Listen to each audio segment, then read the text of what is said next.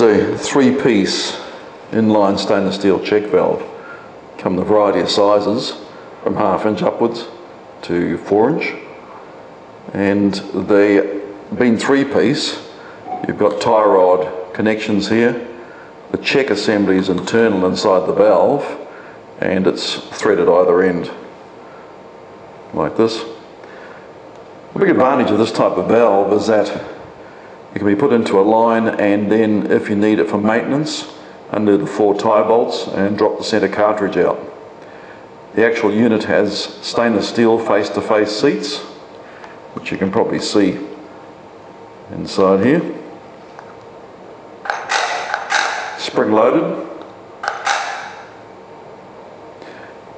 I'll show you up on the board here. I've drawn a couple of sketches.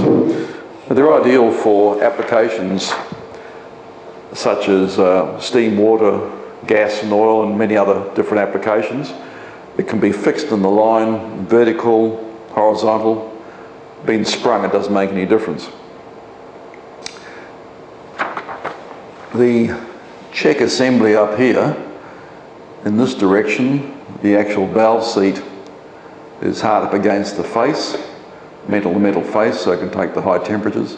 There's a spring cartridge in the center which holds it against the face. So it doesn't make a difference upside down, any direction. Flow in this direction can't go past the face. But if we reverse the flow, so you get flow coming in this direction, the spring seat is pushed up against the spring housing or cartridge area and held there. Flow goes around and out through the valve.